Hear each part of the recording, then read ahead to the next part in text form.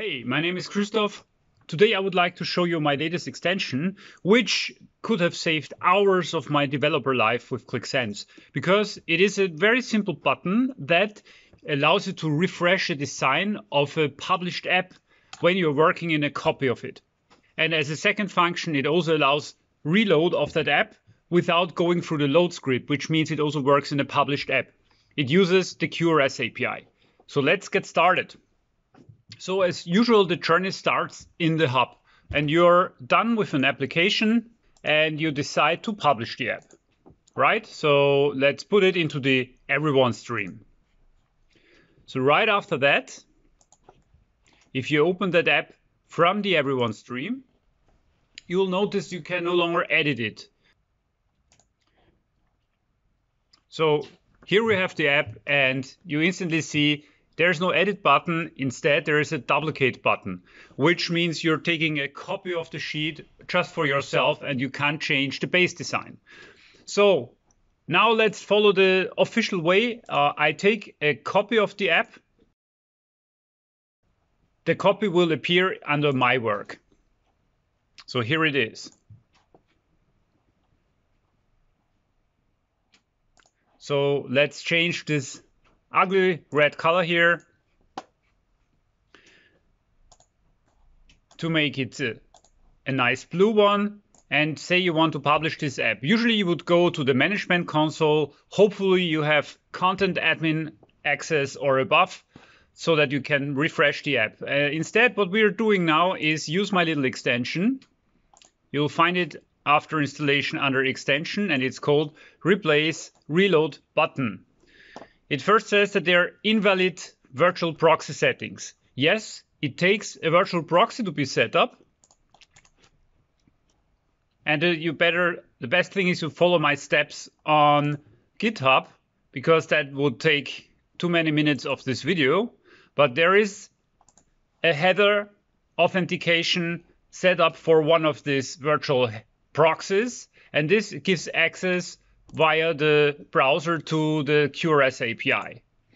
So all I have to do now is to specify the name of the virtual proxy, the user key, and the way it is uh, providing that header value. And after that is set, you should see this invalid proxy settings disappear.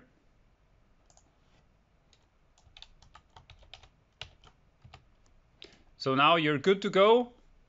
And there are two buttons, as I mentioned, the reload button and the replace design button. So the reload button, very straightforward, just reloads the app.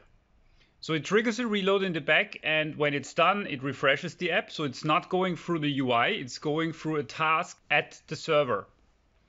And this will also work if the app is published. But if I don't want this on the published app to be visible, because you, for example, don't want people to make instant reloads, you can say hide within published apps. You can also go and set a conditional show, which calculates a condition. Uh, for example, checks if the current user is in a provided list here, and only those users would be allowed to use the reload button. But I don't want to use this right now.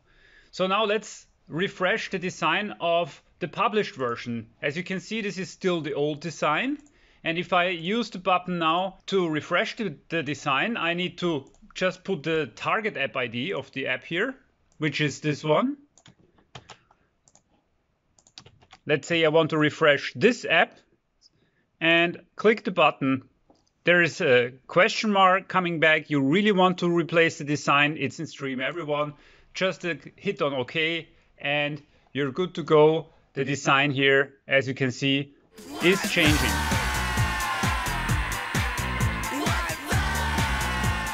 There's one more thing. Let's now assume that you, you, when you work on the app, you have a different data behind. So you're working on a, let's say, on a test data set, whereas the app uh, in the published stream has different data. So to illustrate this, I reload the app once more and uh, we'll set this little text field here to copy.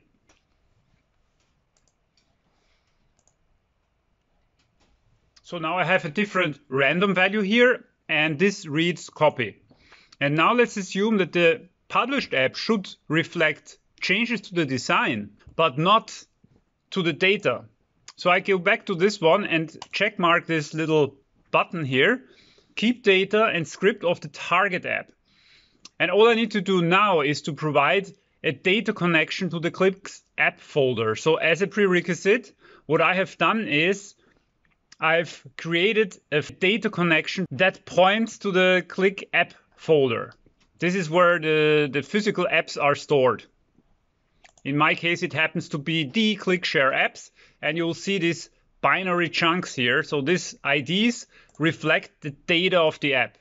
And with that in place, I can now go ahead, click replace app, and it takes a couple of more steps. So you'll notice a little uh, progress bar here going from left to right.